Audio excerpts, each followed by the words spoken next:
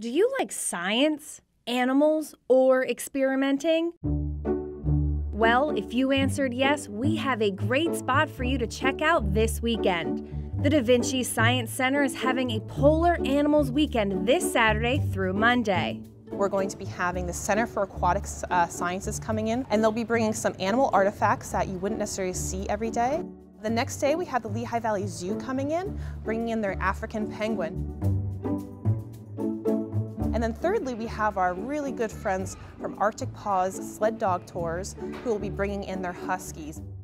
Admission is $12.95 and the event times vary throughout the weekend, so check out their website at davincisciencecenter.org. But don't worry, you'll have full access to other exhibits as well, which are really cool. So we have a lot of great exhibits. Anybody who loves science or just loves to play around. One of our, our biggest, uh, most popular ones for our younger kids is Engineers on the Roll. And we have all these balls kind of going on conveyor belts. The kids get to collect the balls and put them in different spots. That's really cool.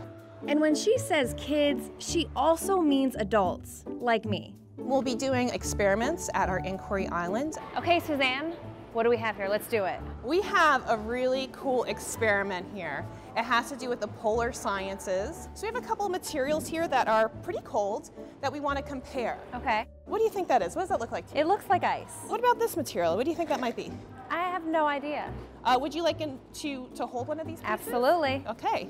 All right. So you want to look at that.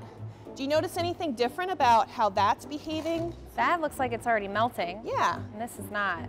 It's not, but it's a solid, right? Mm-hmm. Right. And I can feel coolness through the gloves. Yeah. I got to experiment with pouring warm water over ice.